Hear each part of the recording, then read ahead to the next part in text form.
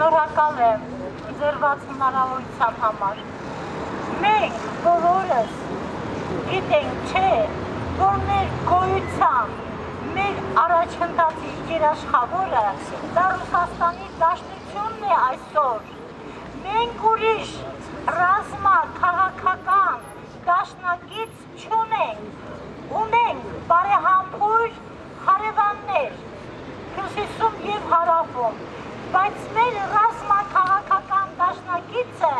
եղել է կա եւ կարող է լինել միայն Ռուսաստանի Դաշնությունը ու նրա փառավոր ղեկավար Վլադիմիր Պուտինը։ Ես չգիտեմ, ովքեր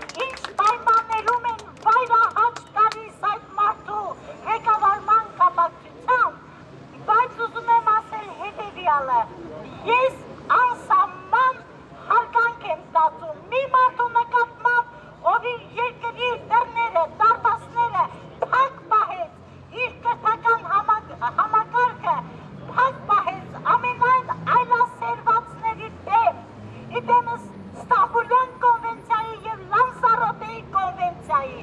որի վավերացմանը համոտ մեզ, մեր 79 այլասերված ծախու պատգամավորները մատին մի հարվածով վավերացրին։ Ընկերներ, եղբայրներ, քույրեր, հարազատներ,